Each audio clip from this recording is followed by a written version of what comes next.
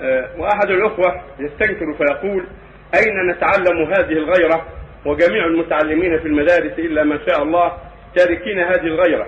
وما رأي المسلمين وخاصة العلماء في الإعلانات الضخمة عن التدخين في الصحف السعودية وغيرها؟ وما رأي المشايخ في السكوت عن تكشف النساء الخوارج؟ هل نسكت على ذلك؟ هذا لا يوجب اليأس ولا ينبغي للعبد أن ييأس أو يدع الإنكار بحجة أن هذا قد كثر النبي صلى الله عليه وسلم أخبر عن الواجب في كل زمان ليس في زمانه فقط. فقال عليه الصلاة والسلام من رأى منكم منكرا فليغيره بيده فإن لم يستطع بلسانه فإن استطاع بقلبه وذلك أضعف الإيمان وهذا عام للقرن الرابع عشر والقرن الخامس عشر وما يأتي بعدها وما قبلها.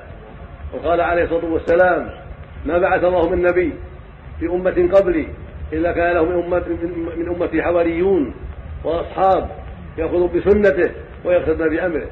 ثم إنها تخلو. من بعد الخلوف يقولون ما لا يفعلون ويفعلون ما لا يؤمرون. فمن جاهدهم بيده فهو مؤمن ومن جاهدهم بلسانه فهو مؤمن ومن جاهدهم بقلبه فهو مؤمن. وليس وراء ذلك من الإيمان حبه خردل فلا ينبغي اليأس للمؤمن ولا لطالب العلم بل ينكر المنكرات ولو كثرت في اي مكان كانت في القرى والامصار ولو باعها الناس ولو اشتراها الناس ولو أعلن عنها. ويدعو لولاة الأمور بالتوفيق والهداية ويناصح اخوانه الذين يستطيعون نصحتهم وينكر ما رأى من المنكر ولا ييأس ولا يثبط الناس عن إنكار المنكرات بل يشجع على إنكار المنكر حتى يقل وحتى يكثر المنكرون. فاليأس داء داء عضال اليأس داء عضال. يميت الغيرة ويكثر المنكرات ويميت القلوب.